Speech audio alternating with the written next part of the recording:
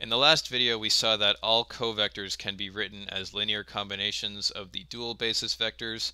We saw how covector components can be obtained by counting how many covector lines that the basis vector pierces. And we also saw that covector components transform in the opposite way that vector components do.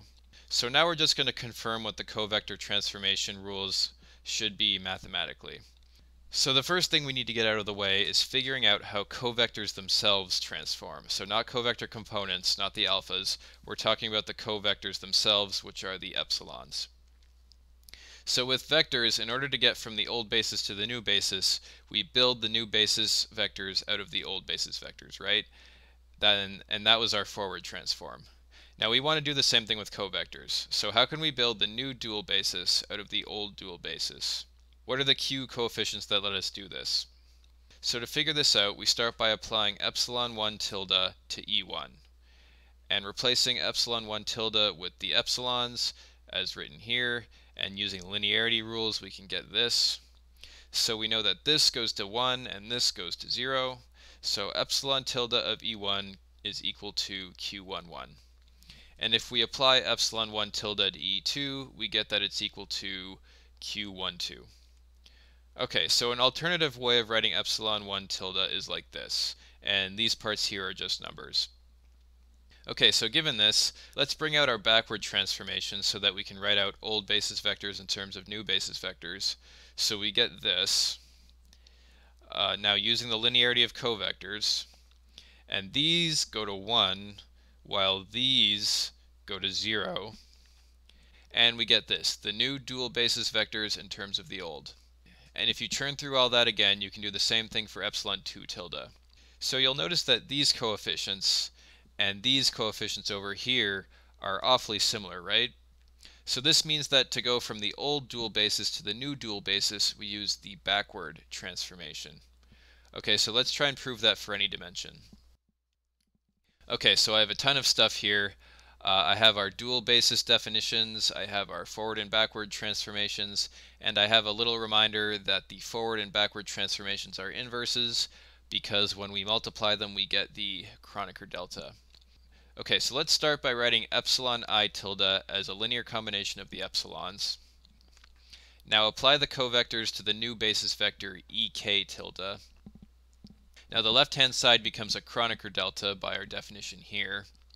And on the right hand side we can replace the new basis vectors with a linear combination of the old ones using the forward transformation.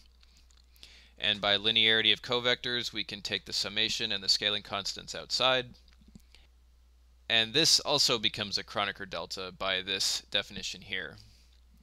Now on the right, this term here would be equal to 0 when j doesn't equal L. So we can ignore all the terms where j doesn't equal L. We only care about the terms where j equals L. So what that means is I can replace this L here with a j, since those are the only terms we care about. And so now we have that q multiplied by f gives us the Kronecker delta. So in other words, q and f are inverses. But remember that we already know that the inverse of f is b. So what that means is that q is equal to b, since f can only have one inverse. So q is equal to the backward transform. And so we move from the old dual basis to the new dual basis using the backward transform. And now you understand why we write covector indexes up top, because they transform in the opposite way that basis vectors do. So here I've summarized the basis vector and covector transformation rules, and again, they are opposites. So now that we know how basis vectors transform, figuring out how their components transform is really easy. We just write covector alpha as a sum of the old basis covectors. We use the forward transformation to rewrite the old basis in terms of the new basis.